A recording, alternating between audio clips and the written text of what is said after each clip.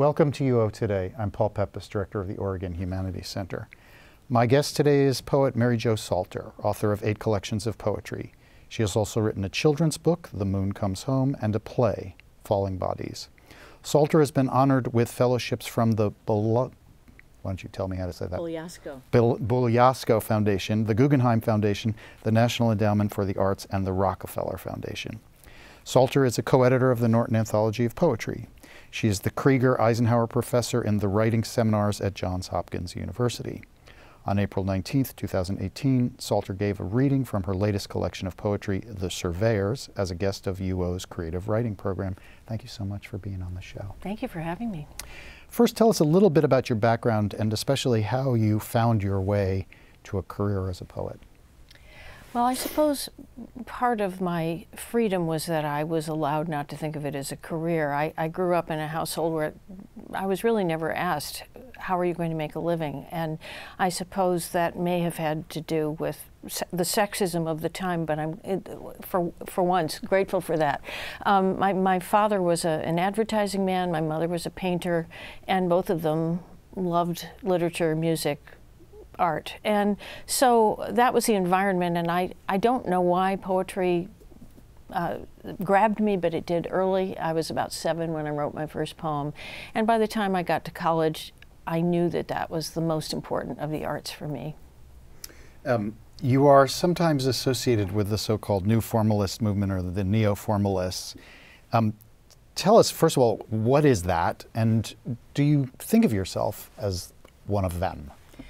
Yeah, I, I, I think I, it's a fair uh, category to put me in if one needs categories, but I'm not very interested in them. Mm-hmm. And um, I am proud to be listed in the same sentence as many other formalists. But I guess the distinction I would make is between being a formalist, where you have uh, some kind of agenda and that poems must rhyme and poems must be in meter. And being someone who just likes form, likes to work in it, finds it congenial for developing ideas. Um, I think music um, is so much a part of what I love about poetry that rhyme very often comes into it.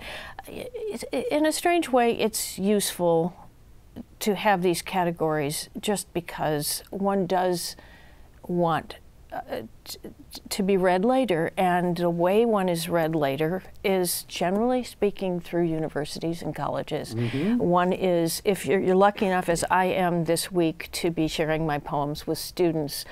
Um, it, it, categories can sometimes seem useful. On the other hand, no, I'm, I'm not interested in any ism particularly. Okay, well, on, on that, um, would you, instead of talking about that, why don't you, would you be willing to read us a poem? Of course. Um, why don't I read from the title poem? It is a Crown of Sonnets, which uh, means uh, that, as, as I know you know, um, a sonnet, a, a, group of sonnets in which the first poem, uh, the first line of the first poem is the last line of the poem, and the, and the last line of each sonnet is the first one of the next. Um, I'll read just the first uh, the first sonnet, and I'll read also the uh, epigraph, which is from a, a, friend of mine who wrote me a letter. Uh, he asked me in this letter. Also, I had a dream about a year and a half ago that I read a poem called The Surveyors, and it was by you. Does this poem exist? I cannot remember any of the words, only that there were all four seasons in it, and that there were nice descriptions of a chain being made taut, the running out of the chain over and over. So this is Matthew Yeager, young poet, who dreamed that I'd written a poem. Dear Matt, I'm sorry to say the Surveyors does not exist. Despite my being haunted by your question for a long while now, imagining time and again that the past can change, that the poem is on the list of things I did once because you dreamed it of me.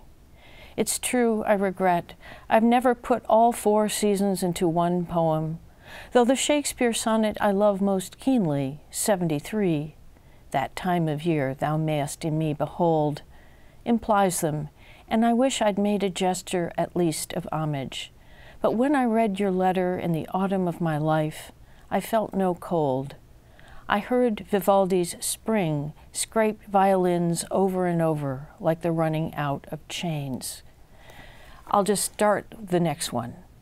Over and over, like the running out of chains. I've already quoted wrong the thing you said. Not being you, I can't be in your head. You can't follow me back there, hearing strains of Vivaldi in cafes, etc. So the running out of chains um, is a place where I can start again. And of course, a crown of sonnet is a kind of chain. And so it took me quite a long time to realize when my friend wrote me this about this dream, what form should this poem take? Mm-hmm. It, I really had the idea for about two years before I thought chain of sonnets. That's what I have to do. Mm-hmm. That's a great story. Um, the, the poem that you just read uh, mentions reading in the autumn of your life. Mm-hmm. Um, there are a number of poems in the volume that are engaged with memory of the past from the perspective of someone in the autumn of their life and with aging. Yes. Um, and, I, you know, I, uh, I think students of poetry are aware that there is this category of, of poems that tend to be written by um, older poets about aging. Yeah. And I'm interested in how you understand your own sense of that as a topic for poetry. That, that is to say, thinking about uh, being an older poet. Mm-hmm. How do you understand that as a theme in this volume? Can you say something about that? Yeah, that's a great question. And um, I, I never set out to make that the theme, but it became sort of the inescapable theme. And uh, I assumed that the poems that were most explicitly about that um, would be uh, the ones that other readers might also enjoy. But of course, you are writing for younger authors, uh, uh, readers. And I was uh, at the pleasure of being interviewed by a very young woman who said to me that the poem she liked best was one about my being young and pregnant. and I thought, well, good, I'm glad, because I, I don't want. I don't actually want to be the old poet all of the time. Uh-huh. Um, on the other hand, I mean, all poems are about time. Mm-hmm. And um, the perspective of the young poet, although very often the young poet is writing about childhood memory, um, the perspective of the young poet is also one of imagining the future. And for me, that has been less about imagining the future of my own life, but imagining the future of this world around us, mm-hmm. whether, and specifically about technology, which does come into the surveyors and some of the other books. Mm-hmm. So that's, that's a complicated answer, but that, that's uh, sort of how I, uh, how I feel about it is that I must write about time because that's who I am, but I hope that it has some larger significance within our time. Mm-hmm, mm-hmm. Um, one of the things that obviously comes with having a long career as a poet is that you get to a point where you can look back on your career from your vantage now, and mm-hmm. you've begun to speak about this. Do you think that your that you your style, uh, your approach has changed at all over the course of your career now that you think back on you know yourself as a young poet versus mm-hmm. yourself now? Yes, I think probably is the the biggest change has not been thematic so much as technical.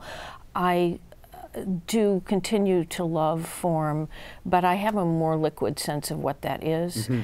Uh, I'm, I, for example, in that Crown of Sonnets, you would probably call that formalist, but there is no sonnet that follows the traditional Shakespearean rhyme scheme or the Italian rhyme scheme. I make it up as I go, mm-hmm. and I also enjoy writing in off rhyme a lot, and that may not seem like much of a departure, but uh, the influence of Emily Dickinson in particular, and I was talking to some students at uh, the university about that yesterday. Um, the, the, the, influence of Dickinson has been profound for me. I mm. think she has has located um, ideas through off rhymes that are more expansive exactly because she has not restricted herself to the to the exact ones. So that's one thing that's changed over my career. Mm, tell the truth, but tell it slant. Exactly. Yes. Exactly. I note also that one of the Crown of Sonnets poems is 16 lines and not 14.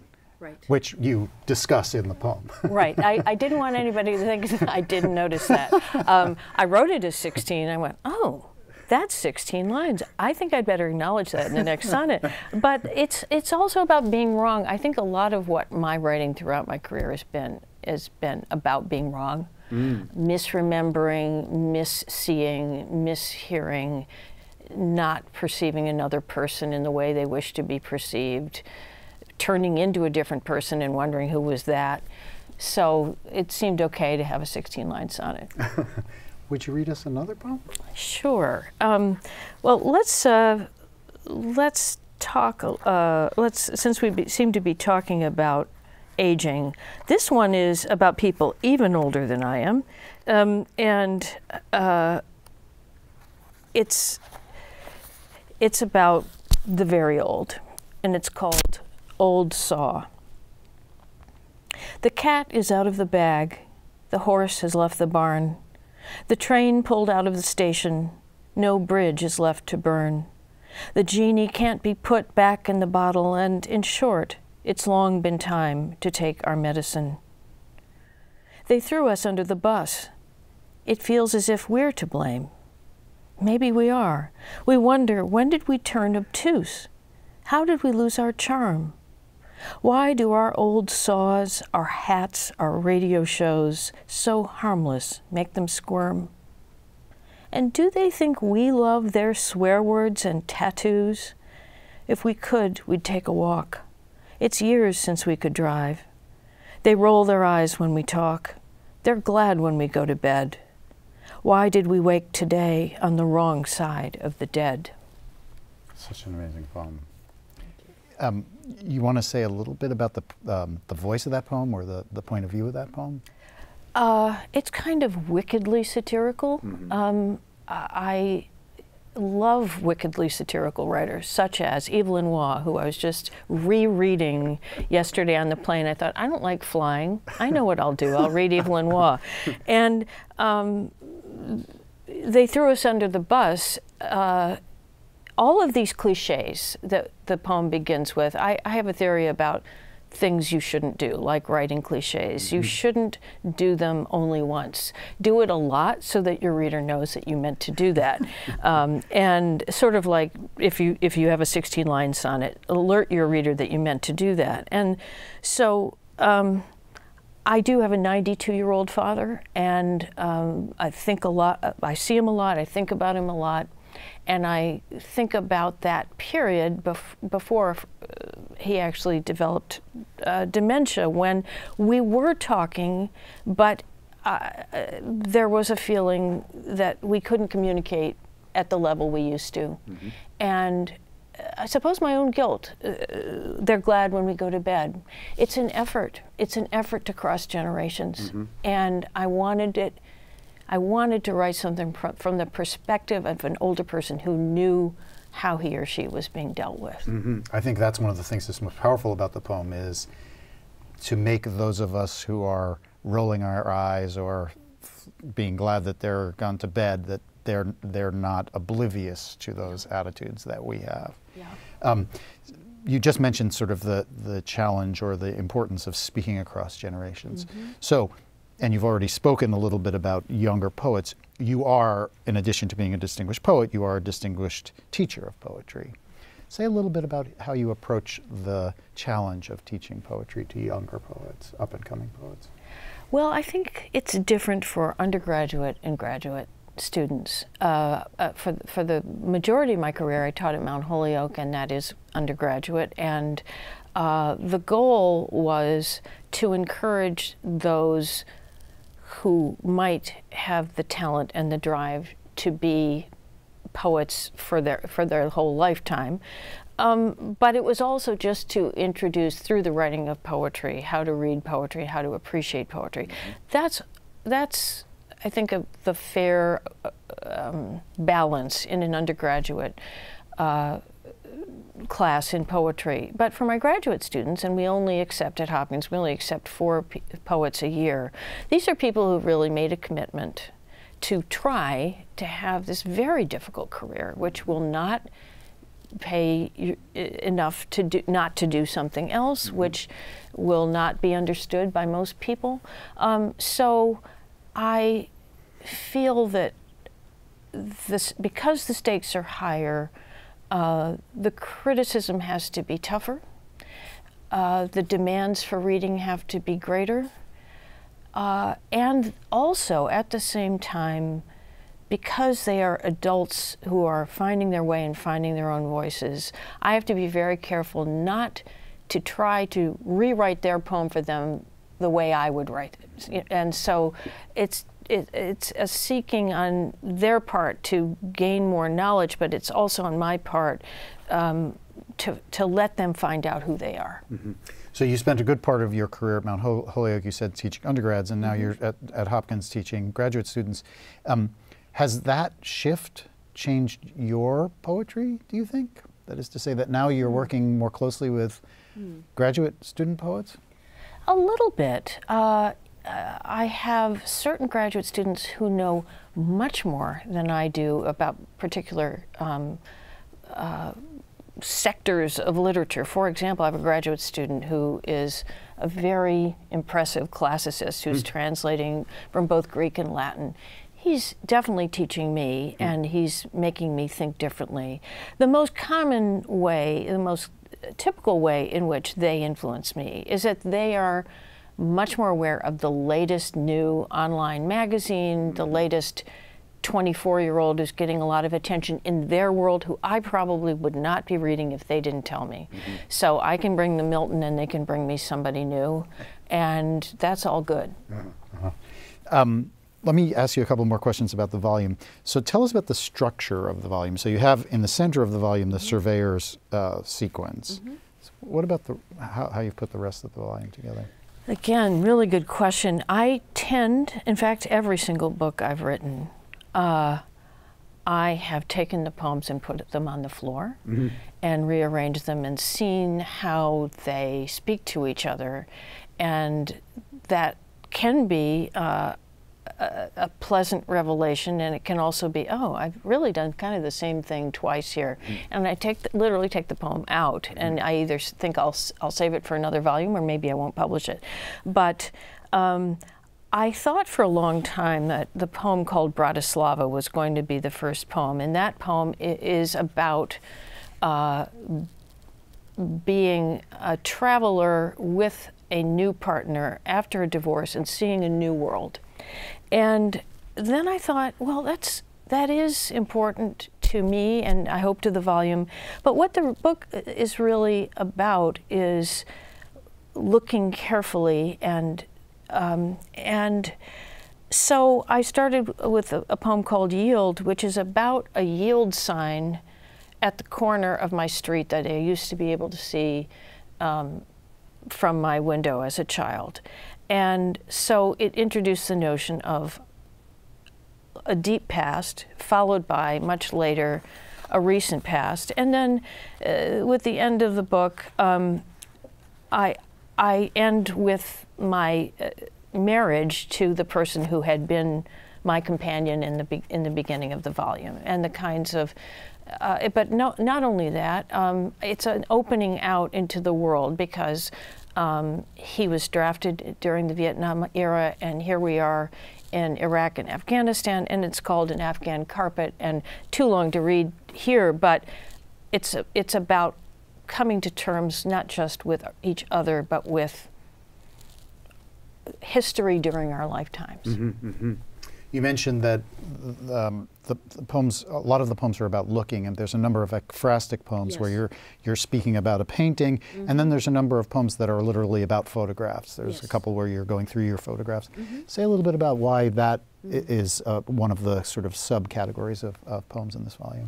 Yeah, poems about painting. Um, I, have enjoyed writing them for uh, throughout my career, and I and it probably all begins with being a painter's daughter, and she used to take me to the museum. But I do think that art about art and sometimes art about art about art, um, it, it can allow us to see more clearly. And so, uh, photography. Uh, is, is a sort of different category because it involves not only art photography but our snapshots. Mm-hmm. And my friend Fred Hersch, uh, jazz pianist and composer, and uh, the two of us wanted to work on a project, and we decided we would do a song cycle. We ended up calling it Rooms of Light, the, the Life of Photographs. And so we pitched ideas to each other about all sorts of um, photographs. Uh, and so I put those poems. So the Surveyors is a middle section of this book, and another is a selection, not the entirety, of the the song lyrics that I wrote for Fred about um, photography.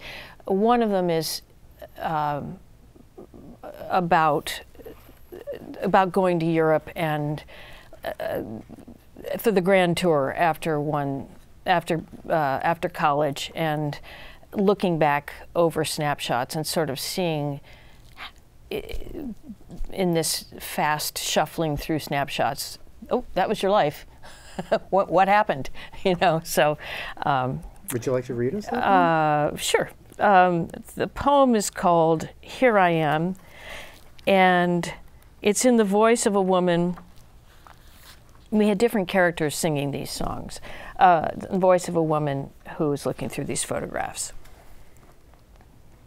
here I am, making my grand tour the summer after graduation. What is this? Must be the Rome train station. We never noticed we were poor. Backpacks and low rise jeans. We never lived beyond our means. Back then, there were no ATMs. Here we are, my friends and me. We're napping on the bank of the Thames when love was free. Here I am with that girl I met on the trip to Brussels or Bruges. My God, her duffel bag is huge. What was her name? Yvonne? Yvette? She ditched me. I'm forgetting why. Oh, yeah, when I slept with that Swedish guy. His sleeping bag was full of fleas. Here we are, with our bread and cheese, on a park bench in the Tuileries, when love was free.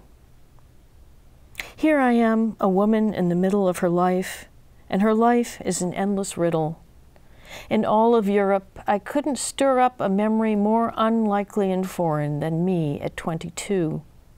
I can't help gazing at her bright young eyes, at her nice, firm thighs. Was I ever 22? Look at her skin, it's amazing. Can you be me? Am I you? Here I am at the Berlin Wall, they tore it down, but it's still there in this picture, like my long dark hair. But there's a wall between her and me that, like me, won't be getting thinner. Here we are, myself and me, thinking, Ich bin ein Berliner, but who is free? Here I am, looking at this kernel of myself, and I feel so strangely maternal. Do I have a choice? I can't believe I'm hearing my own mother's voice giving me advice. Did you pack your passport? Sign your traveler's checks? Don't talk to men, they only want sex. Keep a ladylike appearance. And when was the last time you sent a postcard to your parents? Here it is. Here's my postcard to me. I've become my own mother. Never thought I'd be. But here I am. Here I am another wonderful poem. That one, um, one of the things that's so striking about that poem, and it happens at a number of poems in the volume, is the conjunction or the combination of a kind of rigorous, formal, fixed form and a kind of colloquial, almost comic mm. voice. Mm-hmm. Say a little bit about your understanding of that dynamic, because it, it, it, marks a number of poems in the volume, yeah. Uh, yes, I think, you know, I, I never met Philip Larkin. I never heard him read, but I think he has been a big influence on me. I love the way mm-hmm. he combines uh, the formality of, uh, of technique with, and to some degree, a formality of, of phrasing with suddenly um, just uh, phrases that cannot be repeated on the radio, you know. And so uh, that that I think has been a guide for me. Um, I just tend to just love uh, comic uh, writers with a sense of humor. Mm-hmm. I, I, and I mentioned Milton earlier. I'm always saying to my students, Milton ha- is the one exception. He's the only great writer I've ever met who doesn't have any sense of humor. but I do think it's a it's a lot of how we get through the pain of life. Yes. is satire. Yeah. Um, can you say something about what you're working on now? This volume's been out for a few months. Say something about what you're working on now.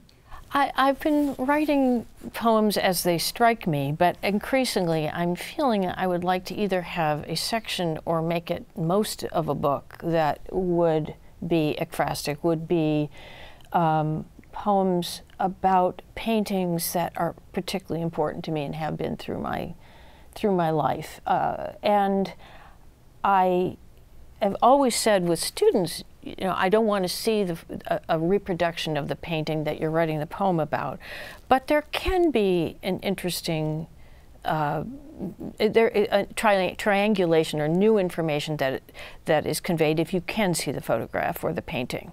I'm thinking of uh, a, a, new discovery for me. Other people have been reading him for a while, but Teju Cole, who mm -hmm. is both a great photographer and a very fine writer, and his uh, new book, Blind, uh, newish, new for me, uh, book Blind Spot includes photographs he has taken, paragraphs that are almost prose poems, and he is a great lover of poetry himself. And then some of them are explicitly about those photographs, and some of them are not about them, and you have to do the triangulation. Mm. And in that way, it sort of makes uh, makes a poem. So I'm not going to copy him. I, no one could, but I'm inspired by him. I, am thinking, why pretend that I don't want to write about art all the time? Because I do. well, we, we're, we're basically out of time. Let me just say, I've really enjoyed our conversation. Thank you so much for taking the time. Thank you for this wonderful book, and good luck on the new project, and have fun here on campus. Thank you students. so much. I really enjoyed it. I've been speaking with poet Mary Jo Salter. She is the Krieger Eisenhower Professor in the Writing Seminars at Johns Hopkins University. On April 19, 2018, Salter gave a reading from her latest collection of poetry, The Surveyors, as a guest of the U of O's Creative Writing Program. Thanks so much for watching.